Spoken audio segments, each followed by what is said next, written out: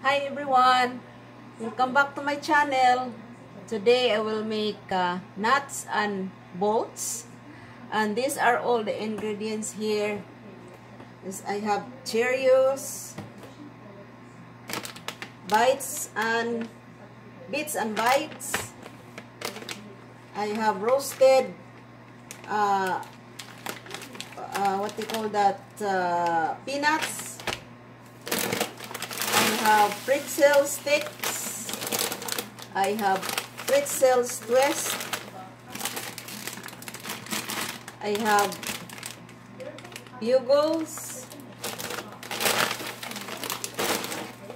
Put that aside. And I have extra virgin olive oil Worcestershire sauce, onion powder, garlic salt, and seasoning salt. And then first thing I'm gonna do is measure all these uh, ingredients, uh, two cups each.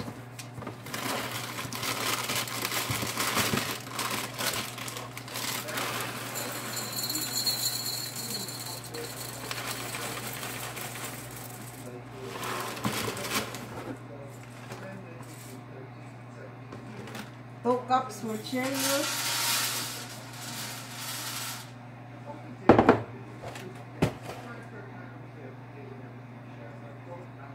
And two cups for bits and bites.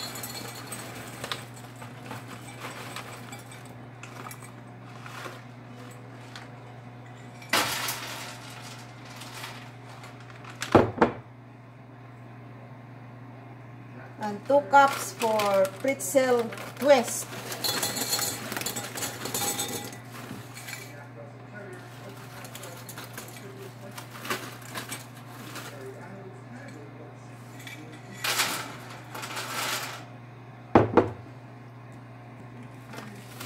Two cups for this pretzel sticks.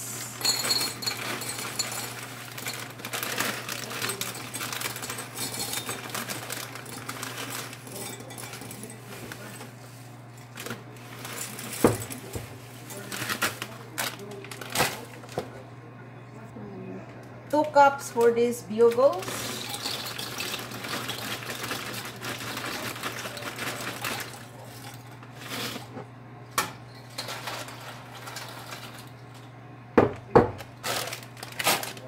And the last but not the least is the roasted peanuts.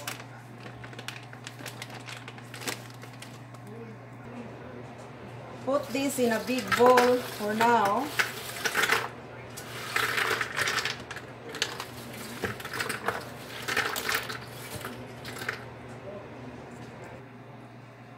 And add seasoning salt to 1 teaspoon each. Uh, seasoning salt, onion powder, and garlic salt. It's uh, 1 teaspoon each. And uh, 1 tablespoon of this I have to add. And then mix this all up.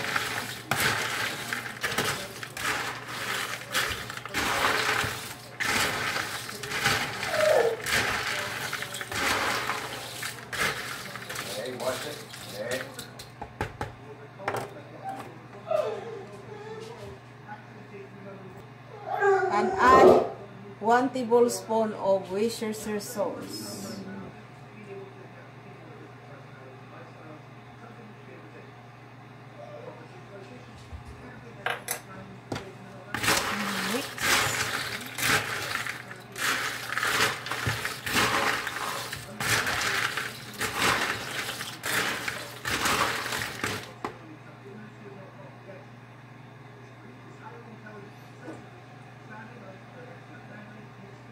The last is the one-third cup of extra virgin olive oil.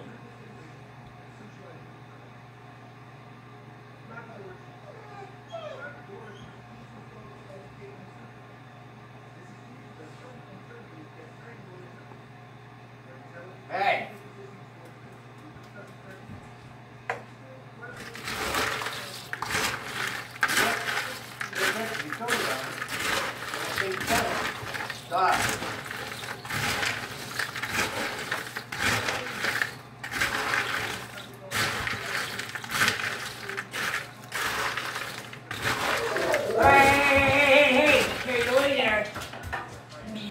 Yeah, my husband was fighting with our dog Luna right there once you wanna eat. Now I'm gonna put this back in a cooking sheet.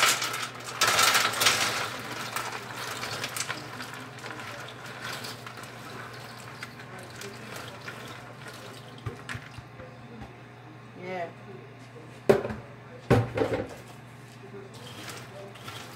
Spread evenly.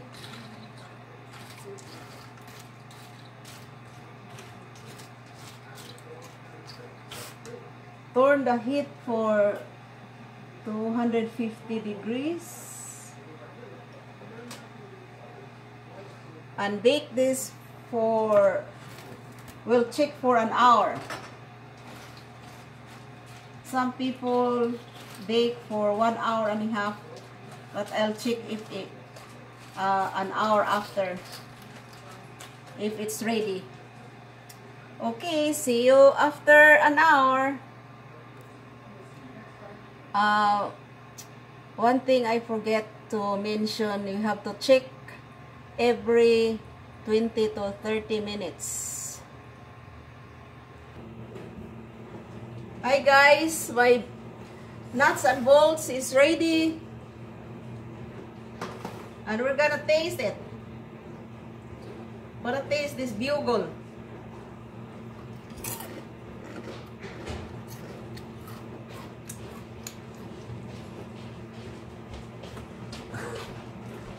Wanna taste the bugle?